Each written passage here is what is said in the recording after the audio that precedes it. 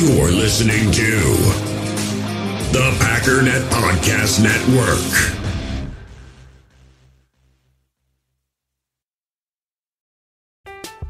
I'm Alex Rodriguez. And I'm Jason Kelly. From Bloomberg, this is The Deal. Each week, you'll hear us in conversation with business icons. This show will explore deal making across sports, media, and entertainment. That is a harsh lesson in business. Sports is not And, uh, as simple you know, I- as bringing a bunch of big names together. I didn't want to do another stomp you out speech. It opened up so many more doors. The show is called The, The Deal. Listen to The Deal. Listen to The Deal on Spotify. Ah, mmm. The first taste of rare bourbon you finally got your hands on. That's nice. At Caskers.com, we make this experience easy. Caskers is a one stop spirit curator with an impressive selection of exclusive, sought after, rare, and household names in the realm of premium spirits and champagne. Discover the top flavors of the year now by going to Caskers.com and using code WELCOME10 for $10 off your first purchase. Get $10 off your first purchase with code WELCOME10 at Caskers.com.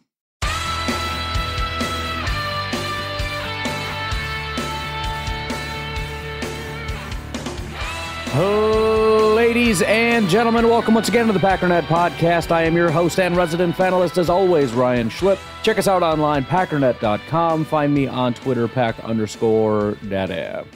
Well, we're going to spend today, at the very least, talking about this Joe Barry situation.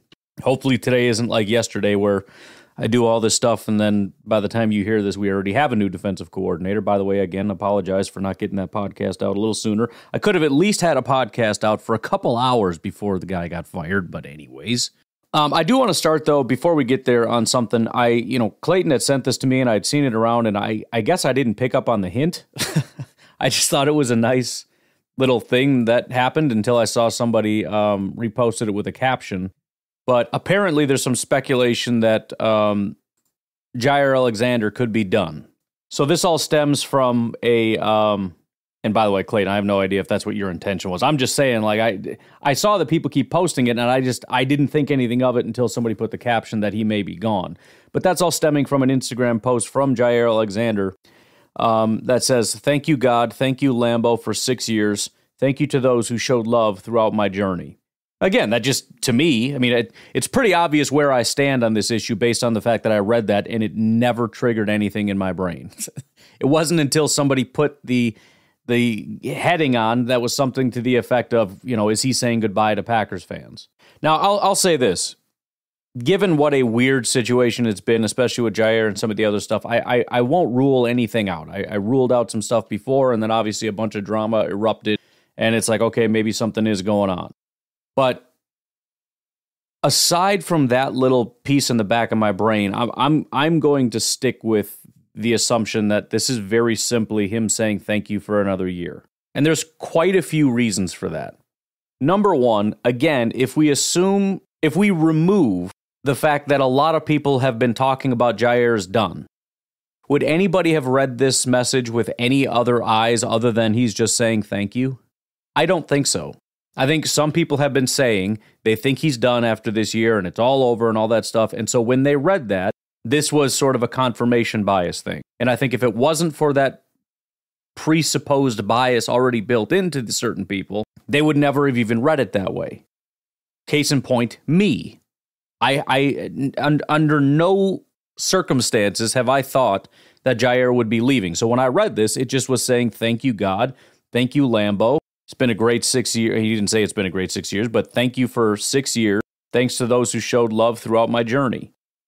I, I, I mean, obviously, first of all, the, you know, an end of a season is an emotional thing. I've, I've been over here basically weeping and whining this whole time about, oh man, the season's over, and thank you guys so much for sticking with me and all that stuff. I'm not saying goodbye. In fact, I'm, I'll talk to you today and tomorrow and the next day after that. It's just a, it's just a, a, a post mortem. It's a, you know, whatever. Beyond that, another issue that I have with it would be the assumption that Jaire Alexander already knows he's gone. How would he know that? He's already worked that out with the team? Did he know that during the season and they just let him play and it's been I doubt the team would tell him during the season. Did they tell him immediately after the season? Because remember, they just met on Monday. When when was this even posted? On Monday or Tuesday? So they met with with, and that was when they met the coaches. I don't even know if the coaches met with the players at all. But I, I think he does before they leave. So maybe that was like on maybe that was on Sunday, and and during just the very quick little meeting, which usually you don't say, hey, by the way, you're out of here. It's just kind of a quick going over like the season and talking about stuff. So they had a conversation, and they were like, oh, by the way, we're we're trading you because we think you're a piece of crap, and He's like, okay, I understand, and uh, like that's that's where like just make that part of it make sense to me. How does Jaire know that he's leaving? Is he saying goodbye because he's going to force his way off the team? Why would he do that? Why would he force his way off the team? Why would he force a trade? If he's not forcing it, that means the team is kicking him off the the the, the team. Which again, explain that part to me. When did they tell him this? In in addition to that, I would assume there'd be some back, like if the team has made a decision like this, Jaire would have told players, the entire organization would know. This would have leaked to Ian Rapoport by now. I haven't heard a single thing about it. There is no way the organization made a, a decision like they, I mean, they made a decision with Joe Barry. We found out in 30 seconds from Ian Rapoport.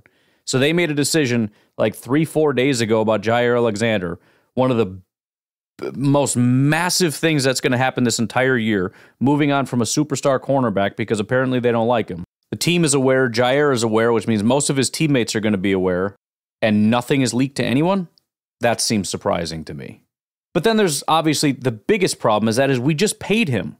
There is no financial way in the universe that the Packers can move on from him. They would have to pay nearly $30 million to trade Jaire. It would cost them $27.456 million just to move on. And, and why again? Why are we moving on from Jaire Alexander? He made a mistake. He got a one game suspension. They've had great conversations ever since. He bounced back with a great attitude and has been playing really well. They're moving on with a new defensive coordinator. So any friction that may have been, may or may not have been going on there, all that's done with. But it's still such a, a an absolute matter of contention that they have to spend $27.5 million just to get Jaire Alexander out of the building what are we talking about here? Like, what? I, I, none of this makes any sense whatsoever. Zero, nada. All right, so should we move on to the uh, the order of the day? Let's also start with some some interesting news on that front as well. So Joe Barry was is not going to be brought back. I you know titled it fired because it's more salacious. I don't know if he was fired or just not brought back because I don't know his contract situation. It sounds like he may have been fired. There is talk, however, that he could be brought back in some capacity. I can't help but think that that is beyond speculation. Let, let me let me give you an idea of how something like this could potentially get reported, and then I'll explain why I feel the need to overanalyze it. Let's pretend you're Ian Rapoport. Okay, I'm just going to keep using him. I don't know who. Tom Pelissero, I think, broke the one. Don't give a crap. Ian Rapoport you find out Joe Barry's getting fired, right? You're talking to you're talking straight to Matt LaFleur, like, hey Matt, what's going on? It's Ian Rapoport. Is it true? Yeah, yeah, it's true. We let him go. He's really close with you, right? Oh yeah, yeah, yeah. We're we're we're best of friends. Really, really hard. Hate to see him go. Was it possible you could bring him back on some capacity and something else, you know? Any other role, maybe not as DC? Yeah, I mean anything's possible, anything's on the table, you never know. Runs to Twitter and types out, could be brought back in some capacity here's the reason why I think that that makes more sense than the fact that the the Packers are actually actively trying to find ways to keep him. Keep him to do what? To do what? Is he going to be uh, assisting the defensive coordinator? In what capacity? Who's the defensive coordinator? What scheme are they running? How can Joe Barry help him? Does the defensive coordinator want Joe Barry there? So uh, just to be clear, this isn't some like anti Joe Barry. He needs to be out of the building at all costs. I really don't care if he comes back in some capacity. I, I, I, I mean, you want to bring him back as the linebackers coach if he's willing? I don't freaking care. It'd be fantastic. I'd love to have him as the linebackers coach. But I'm assuming he's not looking for a linebackers coach position. I don't know how much better than that he's going to get, but certainly not run game coordinator.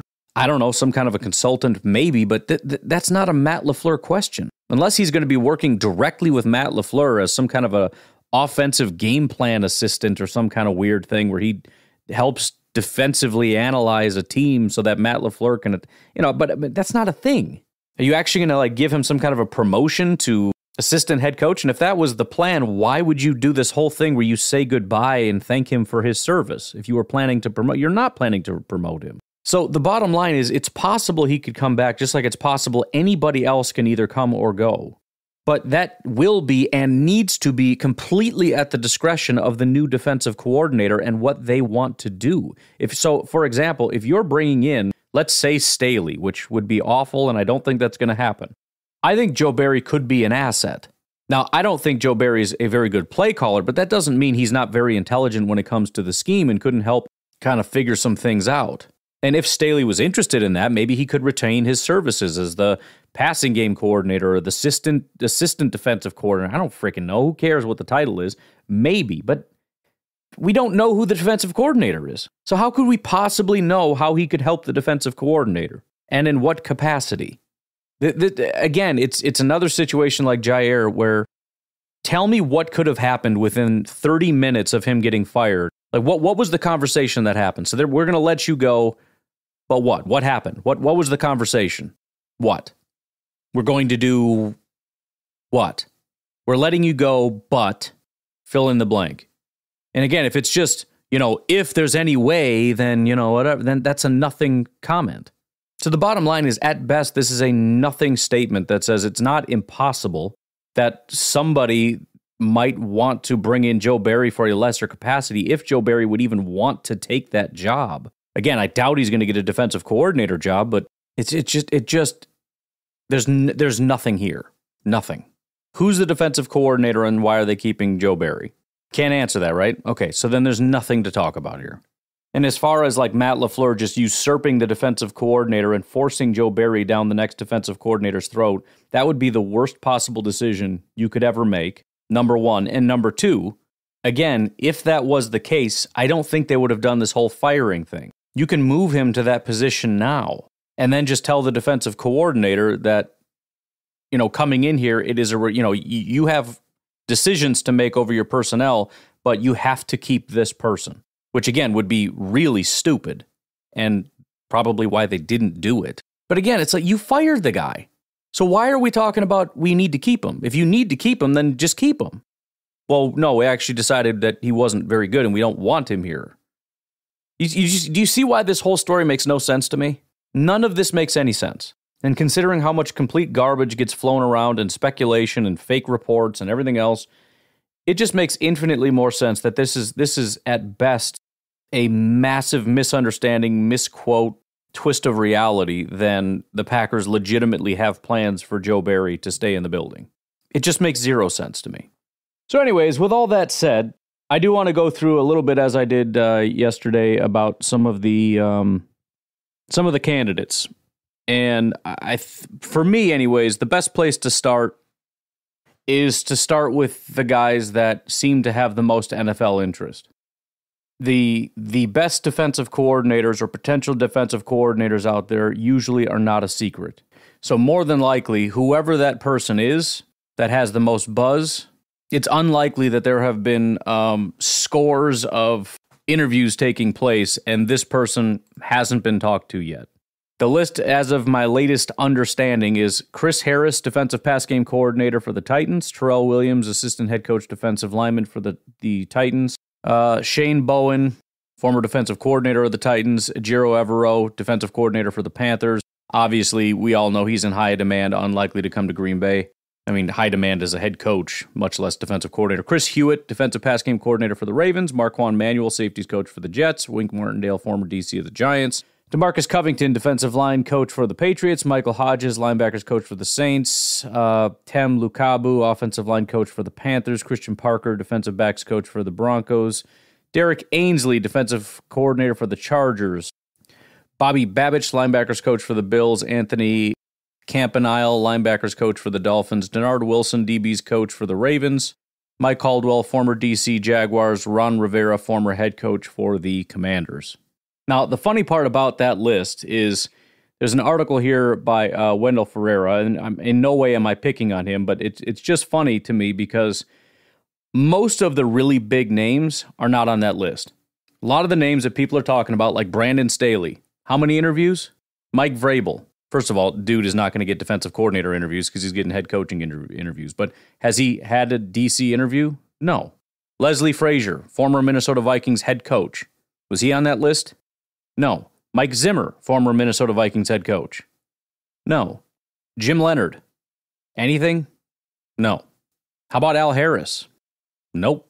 So while I do want to pick some of the names off this list and, and a bunch of other lists to kind of grow the current list, again, I do want to start here because this is what the NFL is telling us. These are the guys in the direction that they want to go. And one of them, Ryan Nielsen, who is on the list, has already been hired by the Jacksonville Jaguars. Now, Ryan Nielsen, you may notice, was not on anybody's list. It's not Brandon Staley. It's not Mike Zimmer. It's not Wink Martindale, who is on the list, but still, it's not one of the big names. And the reason that's important to point out, I mean, we could just look at it and say, well, that's just incompetence by uh, a, a stupid, terrible Jaguars team. Okay, maybe. Or maybe our criteria for what makes a good defensive coordinator is off. And the, the biggest problem that we're going to have with this is that whatever the criteria is, we don't have access to it. We just we just don't. There's so much information that's just hidden out there that has passed through the grapevine that I just do not have access to. And so, for that reason, we're going to start with this list. Why don't we take a break first? We'll come back and start digging through some of these uh, these coaching guys. There's actually one more name I do need to add to this list that did do an interview that I was able to find, but uh, we'll talk about that on the other side. We'll take a break. We'll be right back. Hey, US Cellular customers, I've got good news, so don't hit skip forward just yet. I'm talking about their special customer event, Us Days. What's Us Days? It means exclusive offers just for their customers, just to say thanks, like up to $1,200 to upgrade to any new phone. No, I didn't just misread that. That's up to $1,200 off. They must really like you. Us Days at US Cellular, exclusive offers just for you, just to say thanks.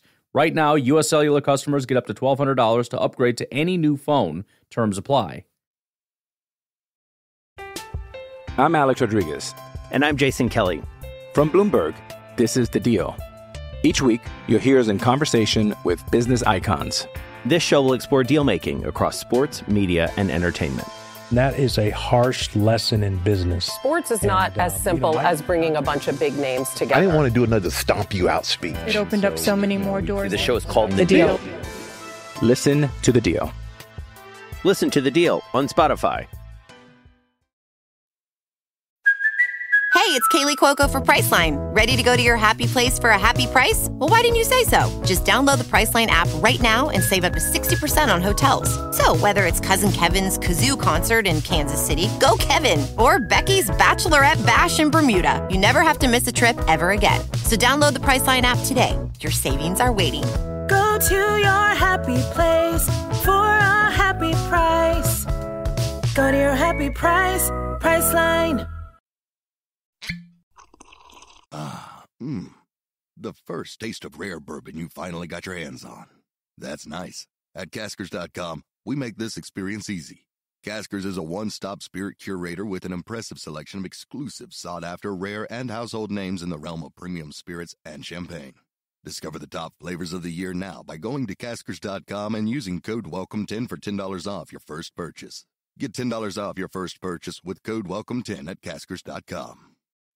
So I don't know if we're going to be able to get through all of these guys, but I do want to go through especially some of the the lesser known names. One of the ones I want to start with is Gerald Alexander, kind of an interesting guy because I think he checks a lot of boxes, at least my boxes, maybe not your boxes. But um, two of the two of the boxes that he checks are he's young and he's a former player.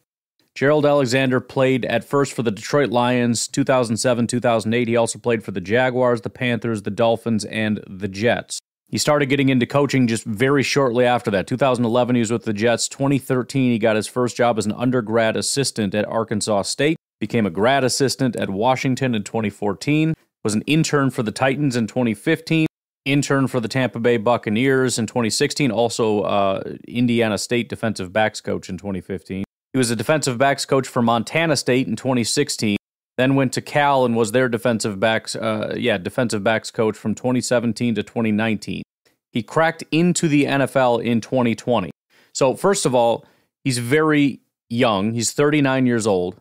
Second of all, he just got his first job in 2020 in the NFL. I mean, he, he was an intern with Tampa in 2016, but his first actual coaching job in 2020, despite very limited DB experience. By the way, he was a former safety, if you couldn't tell. That, that's why he's getting all the DB jobs.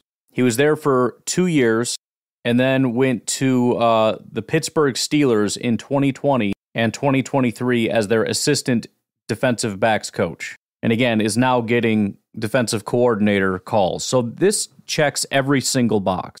Former player, very young, very fast mover, right? He just got into the NFL and they're already talking about him being a DC. That doesn't mean he's going to be one. It's very possible that he's not quite ready for that yet. He's going to get some other calls for some other for some other things, but I find this to be extremely impressive. The other positive is do you know who the defensive coordinator was in Miami in 2020? It's Brian Flores.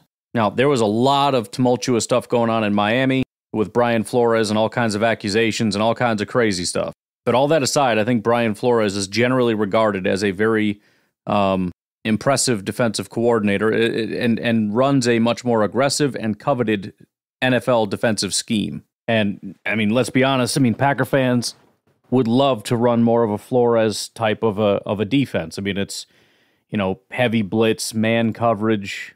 You know, former Patriots. You know, eliminate the the the opponent's best assets type of a defensive core. Like it just it would check most Packer fans' boxes just down the line. And then after that, he goes to the Pittsburgh Steelers. You know, and, and it's another you know sort of DB heavy kind of. I mean, I, I think for both of them, you're looking at an upgrade at safety, especially if you've got a, a, former safety coming in as a defensive coordinator. You can expect the Packers to be aggressive in finding some really talented safeties, and or potentially, if they roll with with Savage, maybe just a big jump in uh, in performance.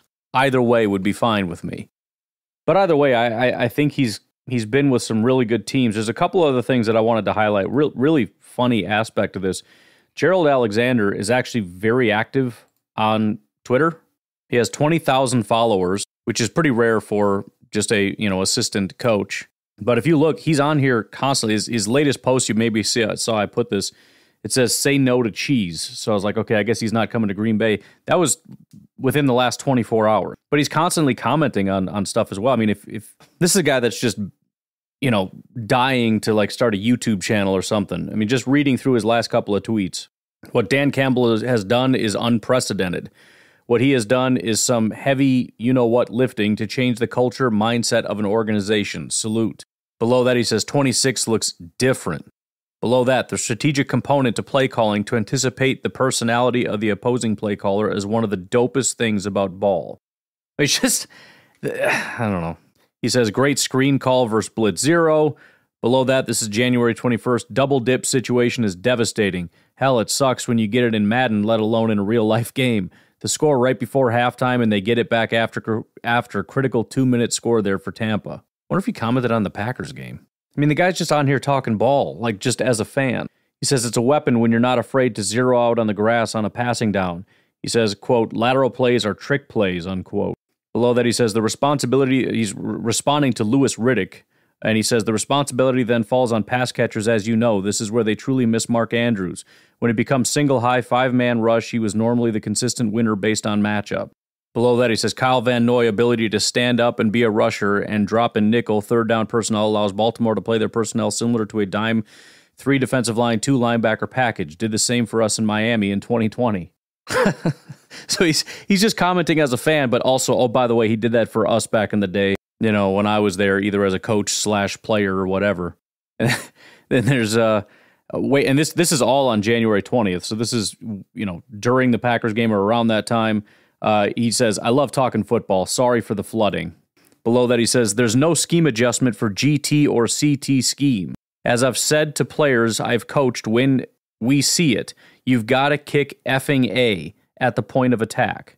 GT is guard tackle, CT is center tackle. Below that, he says, Here's another thing I want you casual football watchers to pay attention to GT or CT counter schemes.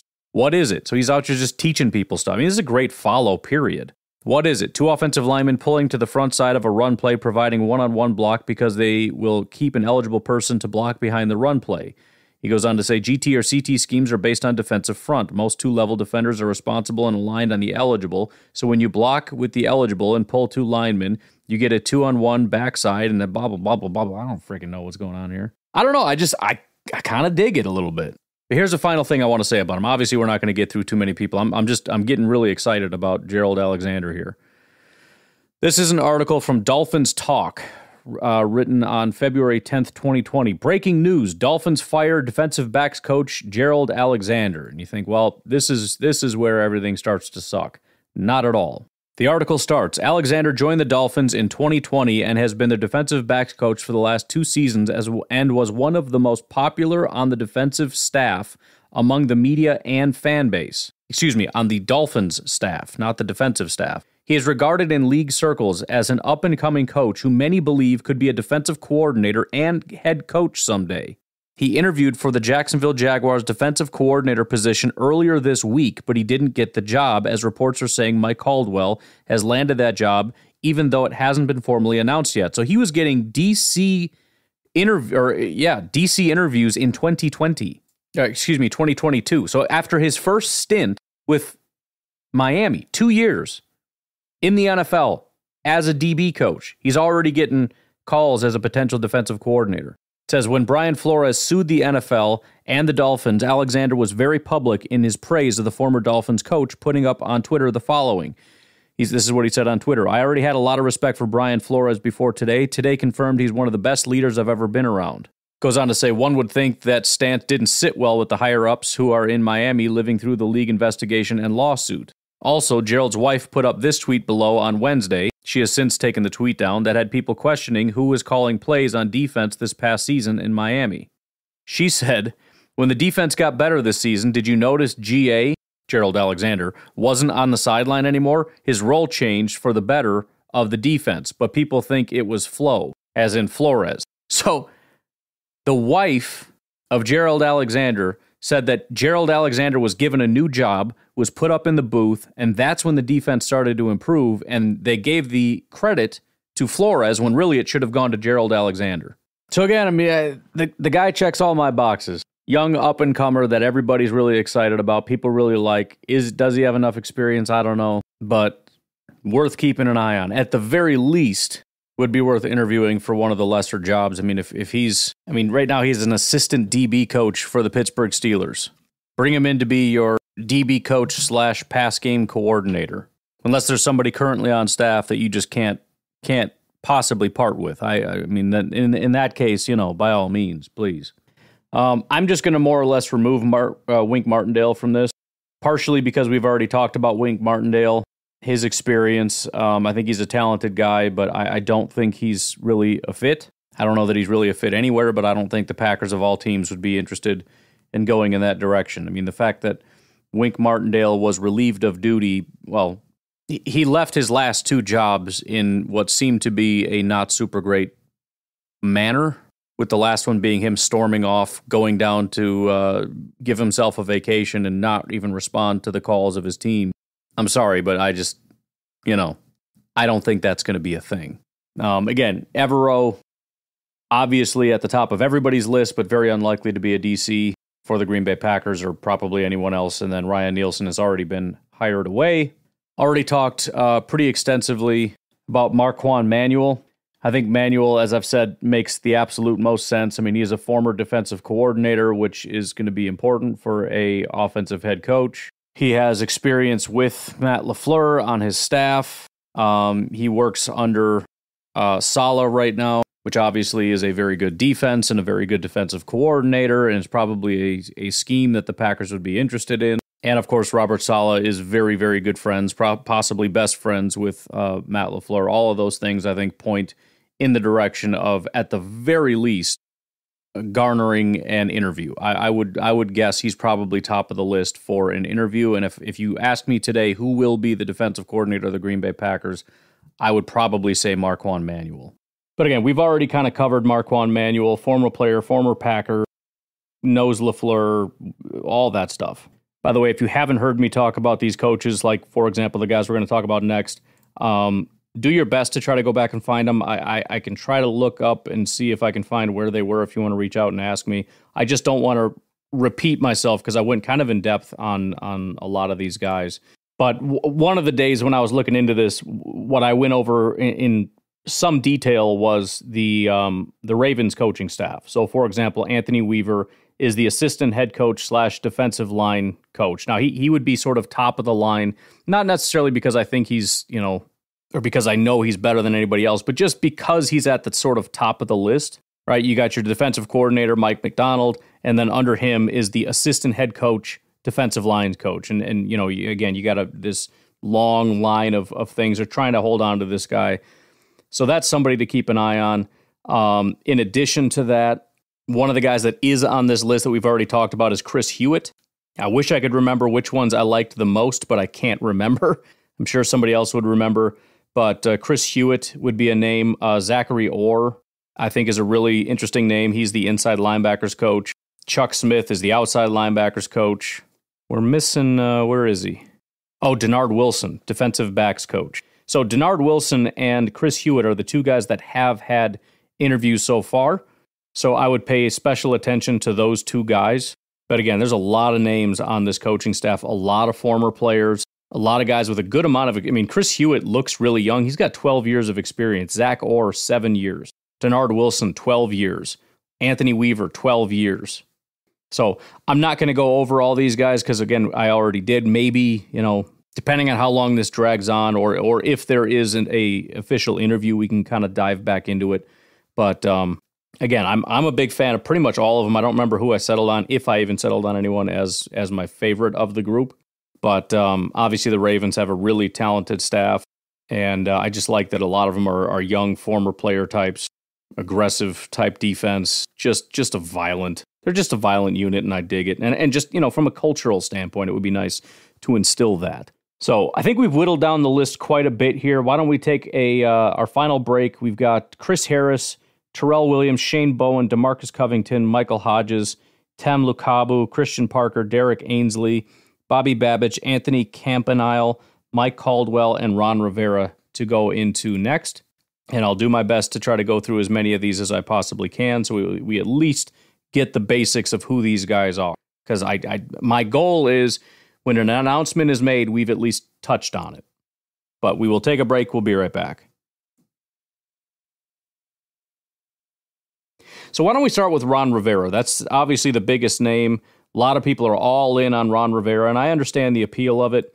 I think there's quite a few people, and, and I think I was one of them for at least a while, um, that was really big on the concept of, you know, there's there's really good DCs who just aren't necessarily, and this doesn't necessarily apply to Ron Rivera, but just stick with me, who aren't necessarily good head coaches and then, you know, when it doesn't work out as a head coach, they go back to a DC, and that's when you can snag them. Like, that's the one opportunity you get to get a proven defensive coordinator that also doesn't have a job. Because otherwise, if he's really good at his job, how are you going to get him? The only other way is sort of like, you know, in, in, a Ejiro Evero thing, where there's coaching overhaul and maybe they're not going to stick around or something. But look, I'll, I'll keep it real simple with Ron Rivera. I'm not a big fan of this because he has not been a defensive coordinator since 2010.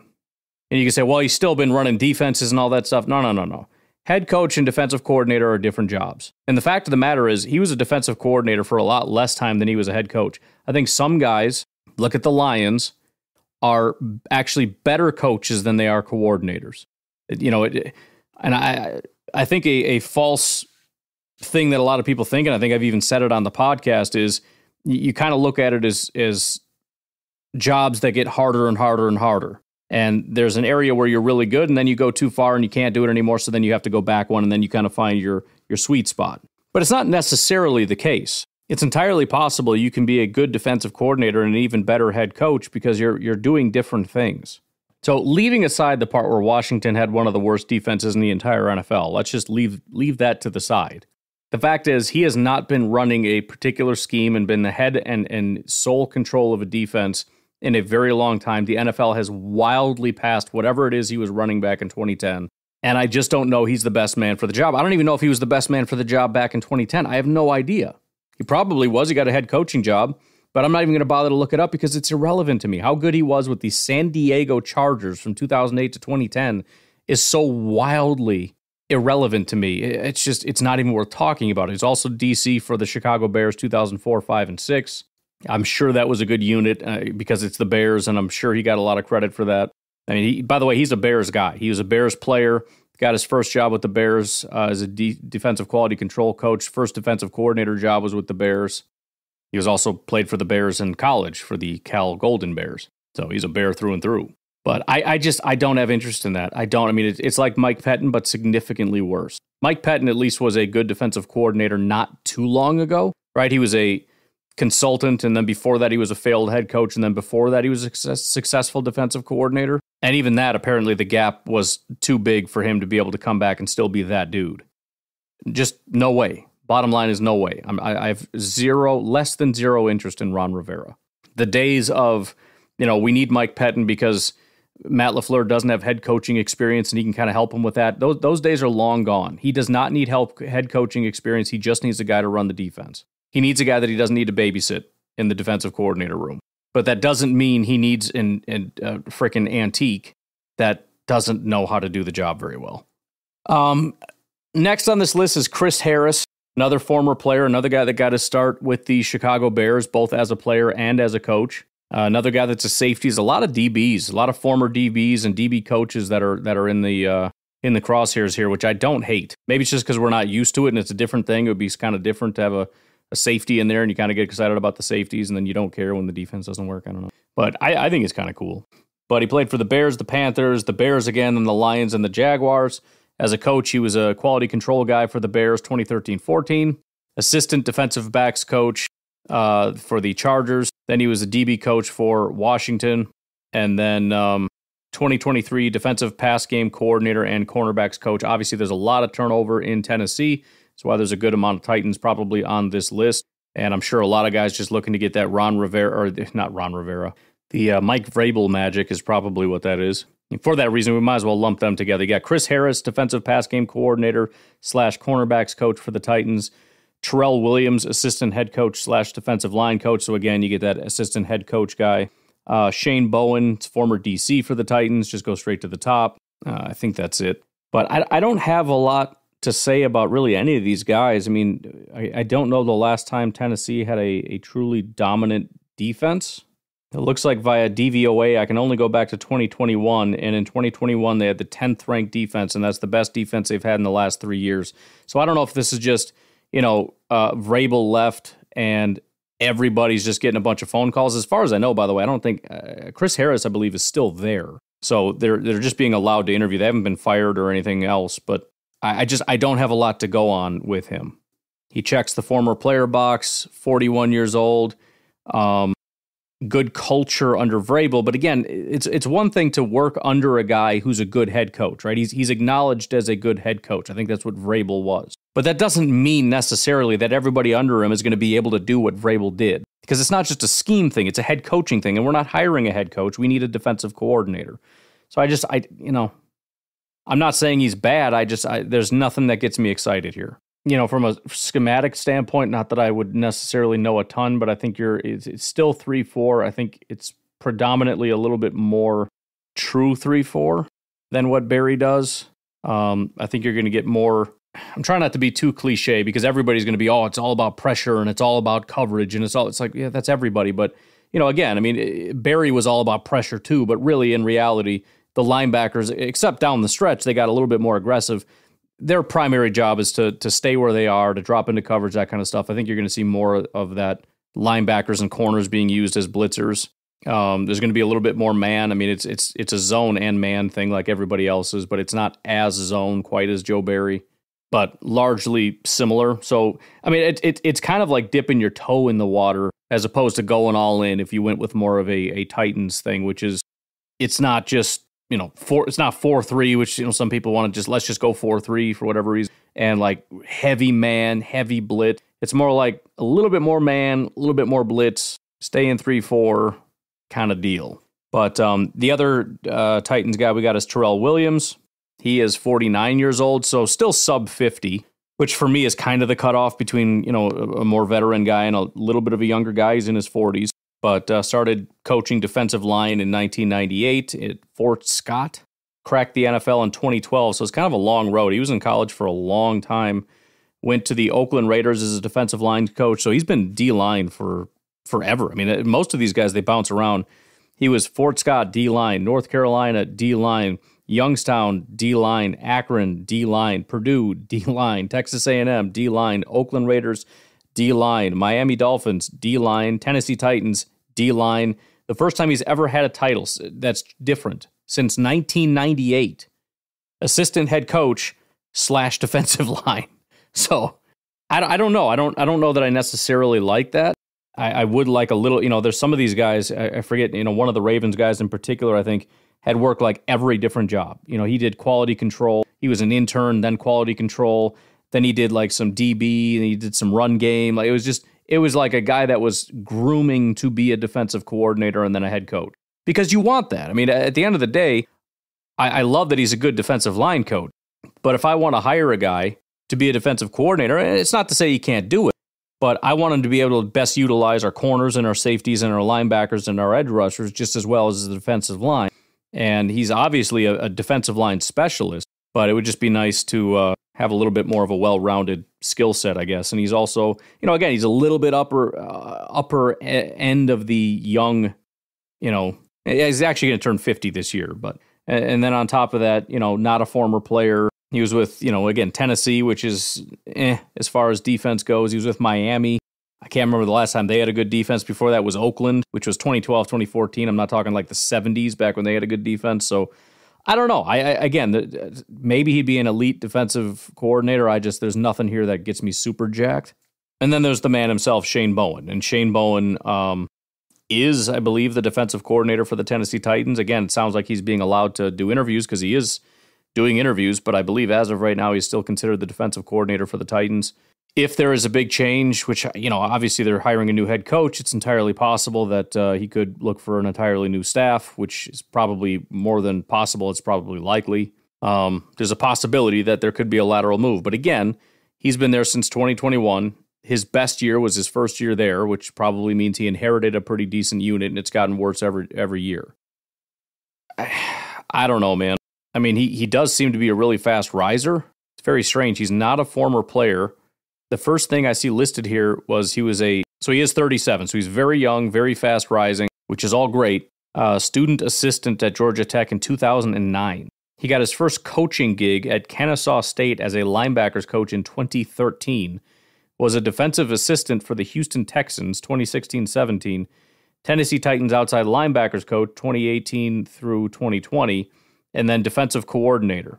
So, I mean, really, really insanely fast riser. Um, it looks like he actually might have been a player. It, it, he's not listed here as, as having played at all, but I think in college maybe he played a little bit and then had an injury. But I mean, this dude is he's the same age as me. He looks older than me. He's he's all grizzled up and everything else, but he is he's we're the same age. In fact, he is a week younger than me, which is sad to say. So, I mean, for that reason, I would say that it's definitely intriguing. Um, it looks like he was uh, coaching in 2018, which would have been a little bit of overlap there with Matt LaFleur. So there is some familiarity. It's just it's just tough. But again, Matt LaFleur was there in Tennessee. I wasn't massively impressed with the numbers, but he was really talented and had an elite reputation. And so there you go. So maybe a little bit intrigued by Bowen, but not super jacked. Just, you know, again, 37 years old and just flew up the rankings, which is massively intriguing in and of itself, I guess. That brings us to Demarcus Covington. He is the um, defensive line coach for the New England Patriots. He is 34 years old, so even younger. Um, he was a grad assistant for a while, but got his first defensive line coach job at UT Martin in 2015. Then was freaking man. Some of these guys, I mean, I, I can't imagine how good of a reputation you must have. I know these are smaller schools, but it's still a big freaking deal to just jump into a job from a from a graduate assistant to defensive line coach at UT Martin and the next year he gets hired as co-defensive coordinator and defensive line coach for Eastern Illinois. And then after 1 year of that, so 1 year at UT Martin, one year at Eastern Illinois. He is a coaching assistant for the Patriots, does that for just two years, and gets promoted to outside linebackers coach. Then is the D line coach. So again, I love this because he is on a fast track. You're also talking about Bill Belichick. That's where he cut his teeth, and that's the only place he's been. He was a coaching assistant, which again, I, I love when it's like he's a graduate assistant, and he has some some coaching experience, and then he comes in as a coaching assistant, really just learning the details, and then he does two different positions. Now, maybe he needs a little bit more time to grow, but I love the track that he's on. Dude is 34 years old. First time getting a coaching gig in the NFL was in 2019 was given to him by Bill Belichick, and then after one year got a promotion.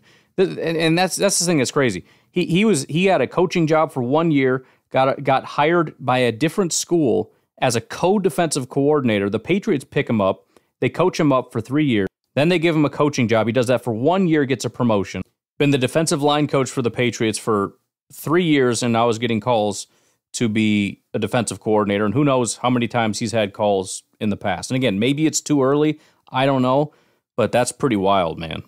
Uh, as far as being a former player, he did play uh, a little bit in college. Interestingly enough, wide receiver. Now, this would be a much more divergent path as far as defense is concerned when you're talking about Bill Belichick's scheme, as opposed to like the Titans, which, as I said, is maybe a little bit more of a minor adjustment. But again, you're kind of looking at like a Flores type of deal, right? That's that whole coaching tree. You get the the hybrid defensive line, you know, instead of like the bend, don't break, preventing big plays, play it safe thing. You've got absolutely obliterate their strengths as your defensive philosophy and exploiting weaknesses, right? It's, it's attacking. We're going to wipe that out and we're going to attack your weaknesses. Um, much more, you know, intricate pass rush. Pretty much everybody's more intricate pass rush than Joe Barry, where it's primarily what front four, right? But again, this is this it's a much more complicated you know let's let's find ways of generating pressure based on what we have and what their weaknesses are. And again scheme scheme is largely the same. Joe barry a lot of zone. Bill belichick probably a lot more man but also it's just we're going to do what we have to do to make sure we neutralize what it is you're going to try to do. And so you know it's it's interesting because we always talk about like it's obviously what every defensive coordinator needs to do to be able to adapt right? To be adaptable but in reality, I think Joe Barry's philosophy is much more in tune to let's lean on the scheme. Whereas I think genuinely Bill Belichick, and I, I wouldn't even necessarily call it a scheme, but as much as a, a way of playing and a way of coaching that, that I'm sure he passed down to everybody else that is genuinely built on crafting from the ground up based on the guys that you have and based on your opponent. Again, we, we assume everybody does that, and, and to some degree, you're always supposed to. But I just don't think Bill Belichick, or excuse me, um, I don't think Joe Barry was necessarily. Not only was do I think he was not necessarily the best at that, but I also think he he more or less brought the playbook along with him and said, "This is how we run the scheme." So then you guys need to learn this, and then we'll go run this, and I'll call some plays out of this book, and that's going to be the end of it. Well, we, we brought in this guy, so uh, how do you want to change? Like we're, we're not changing it. This is this is the scheme, and this is what we run.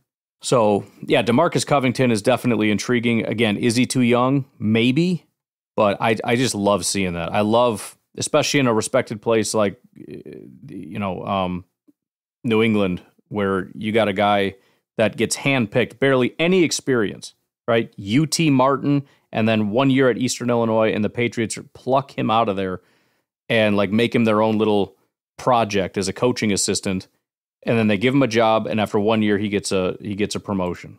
That's that's some remarkable stuff. And at 34 years old, he's getting interviews as a defensive coordinator. Really depressed by how everybody is exactly my age. a guy that is uh, two months uh, older than me, Michael Hodges, linebackers coach for the Saints. Another guy that spent a little bit of time as a college football player at Air Force. Uh, went to uh, Texas, Texas A&M, cetera, et cetera. But primarily has been coaching. Again, young guy. 2011 was a strength and conditioning assistant at Texas A&M, a grad assistant at Fresno State, then a linebackers coach at Eastern Illinois. That was 2014 to 2015. Is there overlap from the other guy, Eastern Illinois? That'd be interesting to find out. And then 2016, co defensive coordinator and safeties coach. Was he the other co defensive coordinator? He is. That's crazy. So Demarcus Covington was co-defensive coordinator and defensive line coach at Eastern Illinois. Michael Hodges was co defensive coordinator and safeties coach at Eastern Illinois in 2016. So these guys were co defensive coordinators together.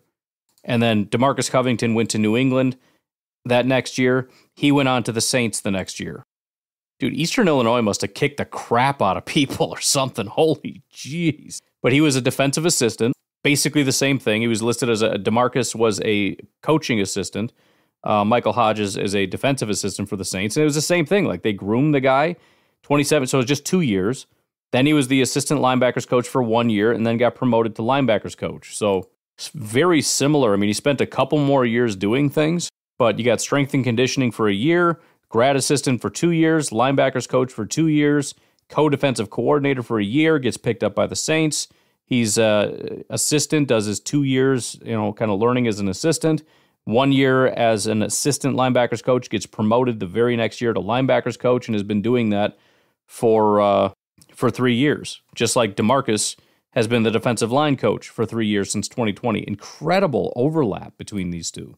I mean, the, the, the complication here is it's hard to pin down like what what what would you be getting as far as defense is concerned, um, because there's been so much turnover for the New Orleans Saints. I mean, he showed up in 2020.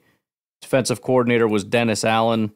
Um, and then in 2022, it was Ryan Nielsen and Chris Rich- Richard. And then 2023, Joe Woods. So I don't know.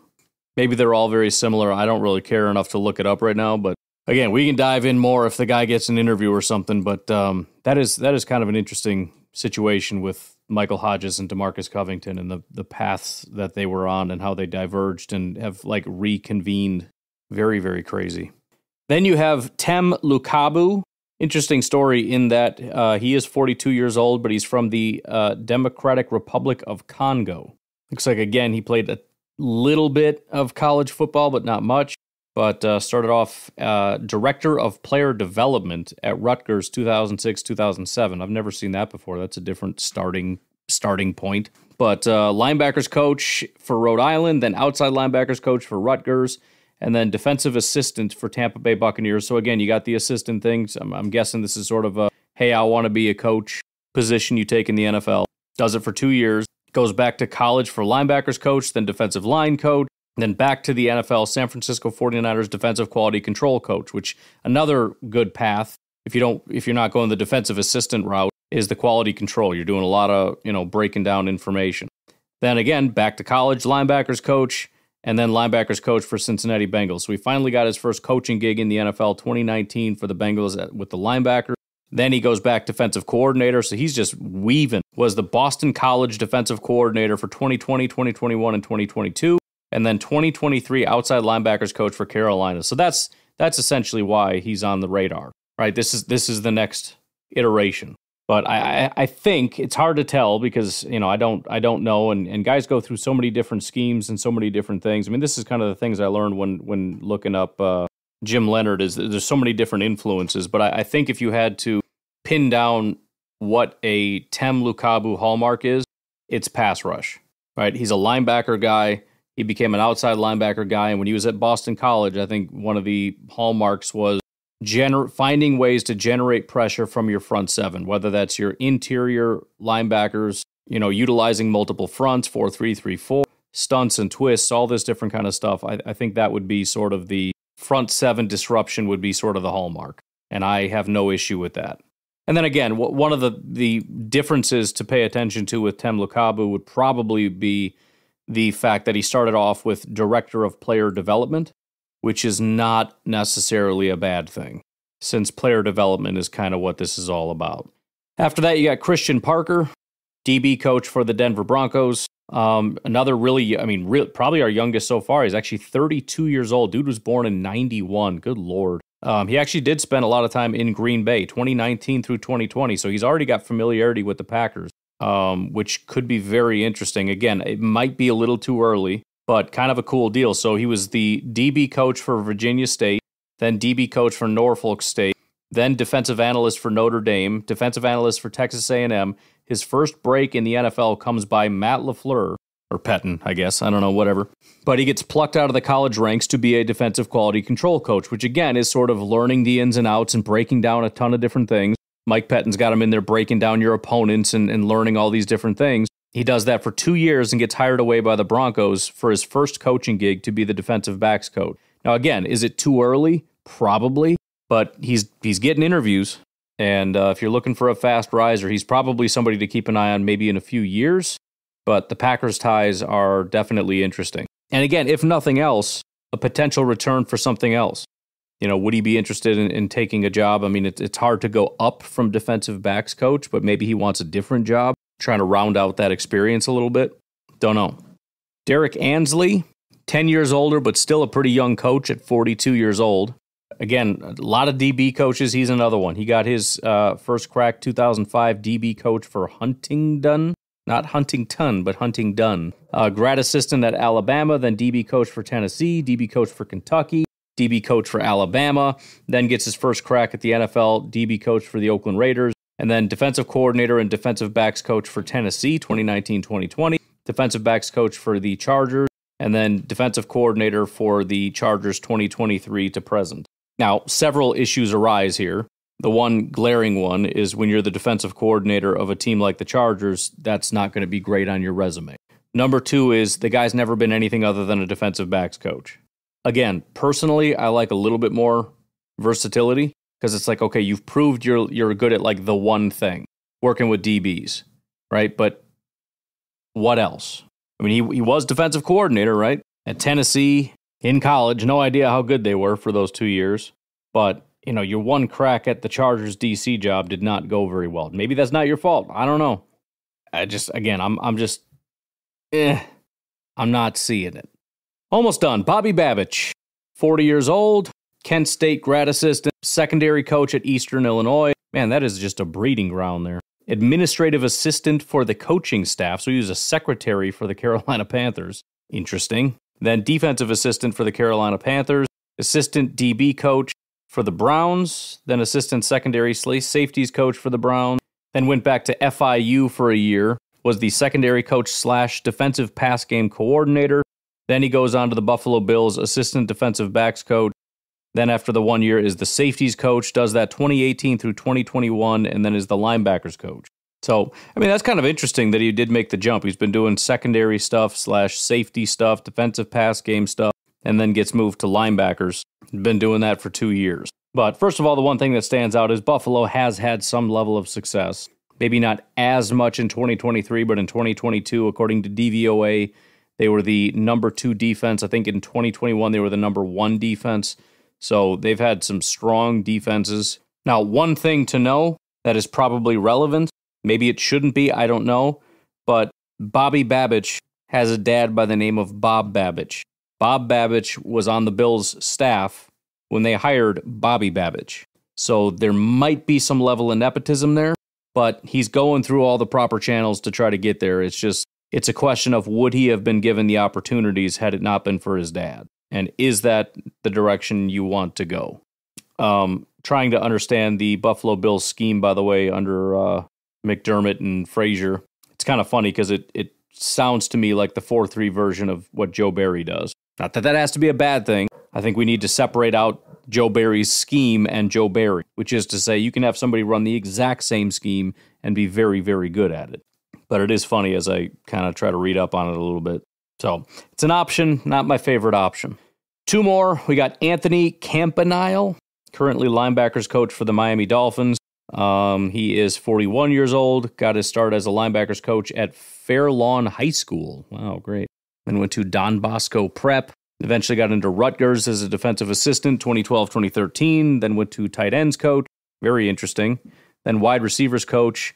Then went to defensive backs coach at Boston College. That was in 2016 and then Boston College co-defensive coordinator slash DB coach in 2018. Then was the Michigan linebackers coach in 2019. Then linebackers coach for the Miami Dolphins in 2020.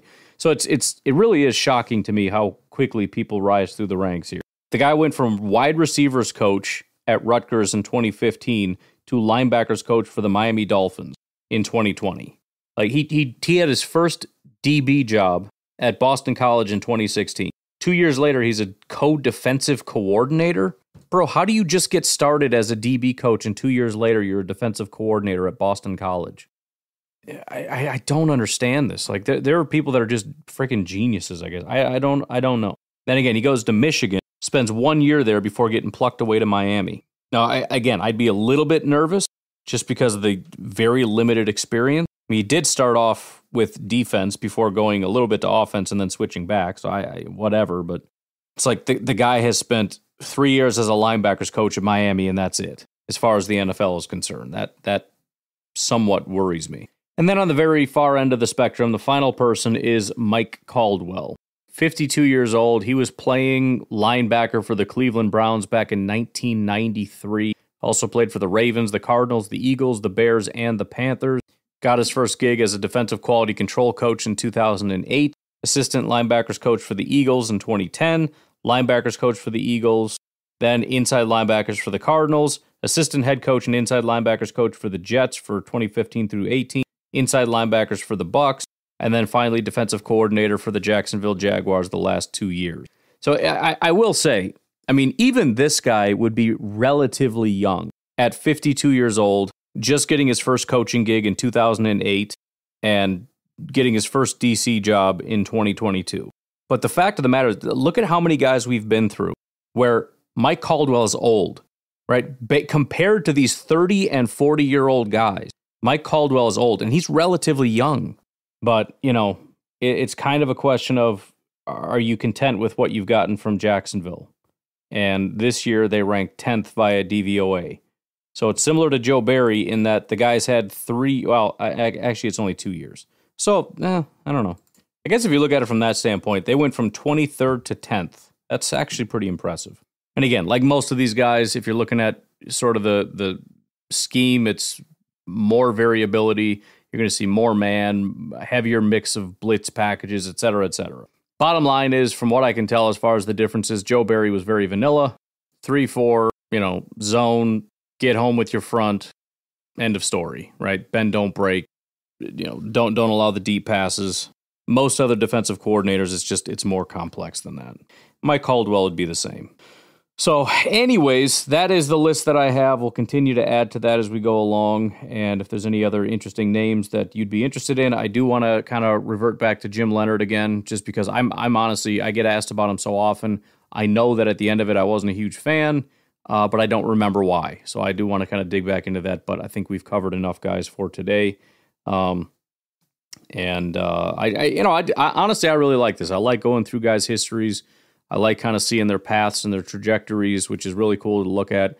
I think it's a lot more fun than what a lot of other people are out there doing, which is just, you know, I don't, I don't even know what people are doing. Just big names and uh, you know, pluck a guy from a good defense or something. I don't know. Not that any of us can adequately answer the question, but I just think that this is a more comprehensive and fun way of going about the question.